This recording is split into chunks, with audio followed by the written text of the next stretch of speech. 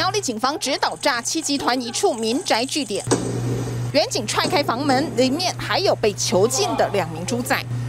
原来苗栗警方接获民众报案，说自己到银行办账户卖给诈骗集团，但却被控制行动之后，才趁机逃出来报警，告诉警察里面还有两个人受困。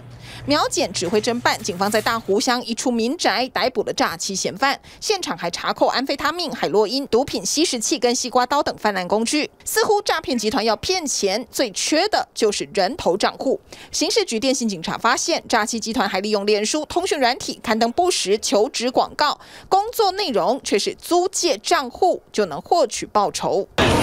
他们利用全台各地的高铁站、台铁站，置物柜成了他们领账户包裹的路径。犯罪集团诚信祖先具有竹联邦和堂成员之背景，其成立诈欺收部集团牟利。主嫌招募成员，分工收部。更改账号密码、测试账户是否完好等等，再交给幕后的诈欺集团使用。成员酬劳月薪四万五。初步清查约有一百一十八个人头账户。苗栗台中诈欺收部集团都靠假求职广告，先骗受害者上当，再告知要买或租他的银行账户。不管当事人事前知情或不知情，一旦提供了自己的账户，因为有几千元不等的金钱收入，同时也成了诈欺共犯。TVBS 新闻谢谷清、黄国军、洪彩伦台中苗栗采访报道。掌握全球情势、国际新闻，全新选择 YT 频道 TVBS 国际 Plus，扩大视野。欢迎订阅并开启小铃铛。